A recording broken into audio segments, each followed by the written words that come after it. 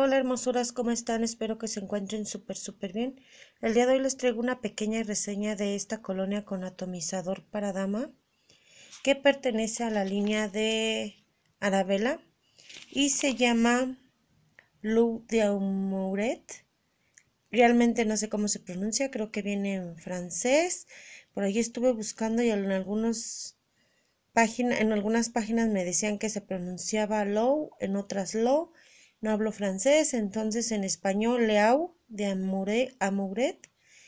Esta salió en un precio de 100 pesos, pero su precio registrado es de 140 y esta es su clave con la que aparece dentro del catálogo lo que nos menciona es que es una floral cítrica maderosa. Esta colonia contiene pequeños glitters. En sí, la cajita viene así, en un color café medio color amarillo mostaza, como si simulara algún dorado. Y unas estrellitas que se me figuran como la estrella de anís, algo así. Miren, todo alrededor, en la parte de atrás, las instrucciones de uso, los ingredientes, las marcas donde está registrada y el número de lote y la clave con la que aparece en folleto. La cajita, pues como sabemos, son sencillas. No vienen con papel celofán.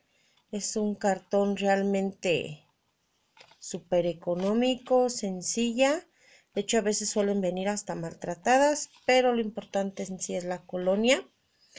Esta viene de igual manera como las otras dos, así, en el envase larguito, solo que esta es transparente y el líquido es un poco amarilloso y contiene glitter, por ahí se alcanza a percibir.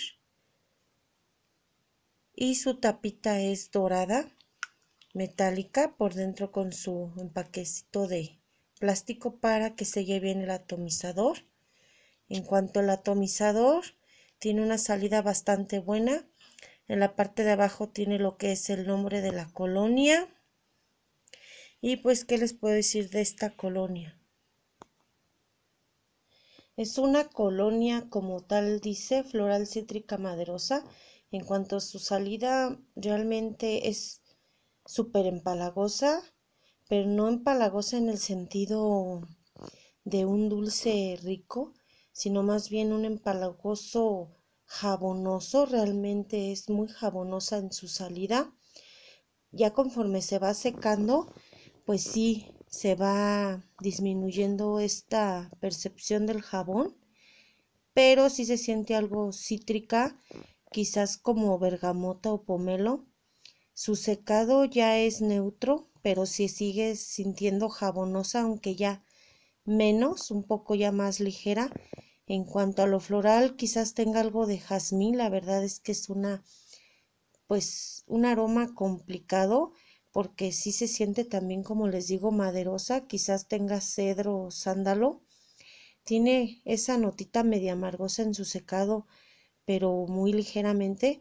Su duración realmente a mí me decepcionó, ya que así para que una persona te la perciba, pues tres, cuatro horas, mínimo tres horas, o quizás hasta máximo tres horas, yo diría, realmente solamente que estés ahí oliendo la parte en donde te lo aplicaste, la percibes bien, pero como les digo también de acuerdo a su pH de cada quien es conforme lo que va a durar la el aroma, ¿verdad? Entonces, este este aroma realmente a mí me decepcionó, esperaba más de él. Quizás creí que iba a durar un poco más, que tenía otro otro tipo de aroma, no sé, como que lo sentía un poco, creí que iba a ser un poco más dulce, pero no. Digo, ahí habrá personas a las que sí les guste, en lo personal a mí no me gustó, creo que pues sí la usaré para no tenerla allí de adorno, pero realmente no fue de mis favoritas, aunque también este, como les digo, no les digo no este, no la adquieran porque a lo mejor a ustedes sí les gusta este tipo de aromas jabonosos. A mí realmente no son de mucho de mi agrado, pero tampoco no les hago como que el fuchi, pero los prefiero más dulces y pues espero que les haya gustado. Si tú ya la adquiriste, coméntame, quizás a ti sí te gustó o realmente también no te gustó.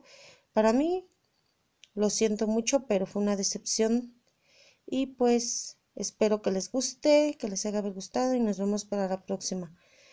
No olviden dejarme su dedito arriba, algo en los comentarios y nos vemos. Bye bye.